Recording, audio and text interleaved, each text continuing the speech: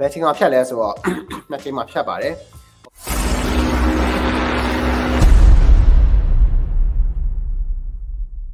okay anyways uh, as manager campaign boost ရဲ့ run မှာတဲ့ campaign boost run တဲ့အခါငွေကဘယ်လိုဖြတ်လဲတဲ့အာပြီးတော့ရှင် campaign အတွက်တစ်ခါ asset အတွက်တစ်ခါ asset တစ်ခါဆိုပြီးငွေပေါင်းဖြတ်တာလားဒါမှမဟုတ်သုံးခုလုံးကိုပြထားတဲ့ amount ကတစ်ခုပဲဖြတ်တာလားအခုဒီမကွက်သေးလို့ဆိုတော့ ဘယ်ချိန်မှာဖြတ်လဲဆိုတော့နှစ်ချိန်မှာဖြတ်ပါတယ်ဟိုဒုဒုတိယမေကွန်ကျွန်တော်အရင်ဆုံးဖြည့်ရမယ်နော် campaign အတွက် asset အတွက် asset ဆိုပြီးတော့ပေါင်းဖြတ်တာမဟုတ်ဘူးအဲ့သုံးခုလုံးတစ်ခုလေဒါတော့ကြောင်ကြောင်တစ်ခုလေတစ်ခါပဲဖြတ်တာသုံးခုလုံးပြထားတဲ့ amount ကတစ်ခုပဲဖြတ်တာပါโอเคကျွန်တော်အပေါ်ကမေကွန်တင်ပြရမယ်နှစ်ခါနှစ်ချိန်နှစ်ချိန်ဖြတ်လို့ရတယ်သူတို့ဘက်ကတစ်ချိန်ကကြတော့ကျွန်တော်တို့ရဲ့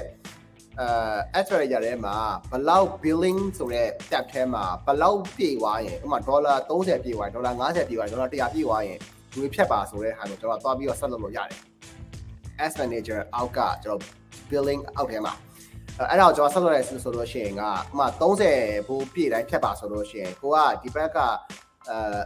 30ဘူးဘူး3ဆိုတာနဲ့ဖြတ်သွားလိမ့်မယ်ဒါမှမဟုတ် 40ဆိုလဲ40 50ဆိုလဲ50ပေါ့နော်30ပြည့်တိုင်း40ပြည့်တိုင်း50ပြည့်တိုင်းဖြတ်ပါဆိုဖြတ်သွားလိမ့်မယ်အဲ့လိုမဟုတ်ရင်ကျွန်တော်တို့ကတလပြည့်ရင်တစ်ခါဖြတ်တယ်ဘယ်လောက်ပဲဖြစ်ဖြစ်ဟိုကကျွန်တော်တို့က30ပေးထားတယ်တလလုံးမှကျွန်တော်20ဘူးပဲပူးထုတ်လဲဆိုလို့ရှိရင်လကုံသွားရင်ကျွန်တော်တို့20ဘူးဖြတ်ပါတယ်အဲ့တော့